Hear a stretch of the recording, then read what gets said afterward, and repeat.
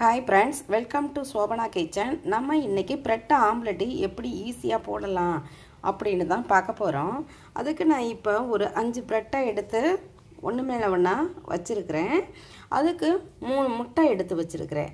இப்போ நம்ம இப்போ நம்ம முட்டை மூணு முட்டையும் உடச்சி ஒரு இதில் ஊற்றிக்குவோம் ஃபஸ்ட்டு ஊற்றிட்டு காமிக்கிறேன். இப்போ பாருங்கள் நான் மூணு முட்டையையும் உடச்சி ஊற்றி வச்சுருக்கேன். இது நல்லா முறைச்சி வர முடியும். நல்லா கலக்கிக்கிடுவோம் கரண்டியால். இப்போ பாருங்கள் நான் இதை நல்லா கலக்கி நல்லா நுரைச்சி வர முடியும். கலக்கி வச்சுக்கிட்டேன். இப்போ இந்த ப்ரெட்டில் உள்ள நம்ம இந்த நாலு ஓரத்தையும் அழகாக கட் பண்ணி எடுத்துக்கிடுவோம். அந்த கற்பாக உள்ள பகுதியை மட்டும் கட் பண்ணாலே போதும். இந்த மாதிரி கட் பண்ணி வச்சுட்டு காமிக்கிறேன். இப்போ பாருங்கள் நான் கட் பண்ணுறதையும் காமிக்கிறேன். இந்த கருப்பாக உள்ள பகுதியை மட்டும் லைட்டாக கட் பண்ணினாலே போதும். கட் பண்ணிட்டேன். இப்போ இதையும் ஒரு பீஸ் இருக்கு. இப்படியே கட் பண்ணிவிட்டு என்ன செய்வோம் அப்படின்னா இந்த மாதிரி சென்டரில் கொடுத்து ரெண்டாக கட் பண்ணி நாலு பீஸாக எடுத்துக்குவோம். அதே மாதிரியே இதையும் பாருங்கள் கட் பண்ணிவிட்டு ரெண்டாக கட் பண்ணியாச்சு.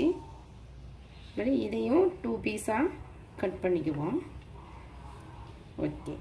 இதை தனியாக வச்சுருவோம். இப்போ இதை நம்ம கலக்கி வச்சுருக்கோம்னா முட்டை அதில் போட்டு கொஞ்சம் அப்படியே வச்சுக்குவோம் பெரட்டி விட்டு.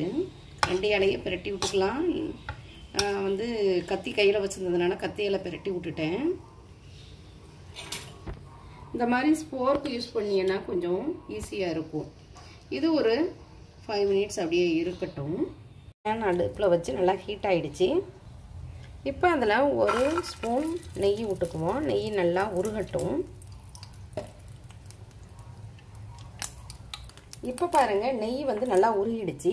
இப்போ நம்ம முட்டையில் போட்டு வச்சுருக்கோம்னா ஃப்ரெட்டு இந்த ப்ரெட்டை அழகாக ஸ்போர்க்காலையே நம்ம எடுத்துக்கலாம் பாருங்கள் ஸ்போர்க்காலை எடுத்து அதில் போட்டிங்கன்னா எப்படி பொரிஞ்சு வருது பாருங்கள் நெய் வாசத்துக்கும் அழகாக அப்படியே பொரிஞ்சு வரும் பாருங்கள் இங்கே பாருங்கள் அடுப்பு எப்போவும் மிதமான தீயிலேயே எரியட்டும். நல்லா பொரிஞ்சிடுச்சு. இப்போ இந்த ஸ்போர்க்கை பயன்படுத்தியே நம்ம திருப்பி போட்டுக்குவோம். இங்கே பாருங்கள் எப்படி இருக்குது முட்டை ஆம்லெட் மாதிரியும் அழகாக பொரிஞ்சு வந்துருக்கு பாருங்கள் இப்போ பாருங்கள் அருமையாக வெந்து நல்லா செவந்து வந்துருச்சு. இப்போ இதை எடுத்து வச்சுக்குவோம்.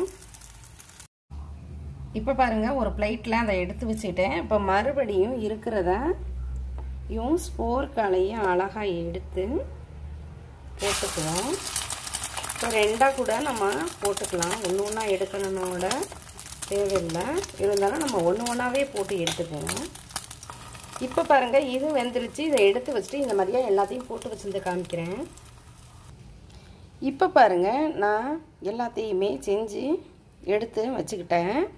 இப்போ ரொம்ப சாஃப்டாக இருக்குது. பொசு பொசுன்னு நல்லா சாஃப்டாக இருக்குது நல்லா நெய் வாசத்துக்கு சூப்பராக குழந்தைங்களுக்கு செஞ்சு கொடுத்தீங்கன்னா சாப்பிடுவாங்க.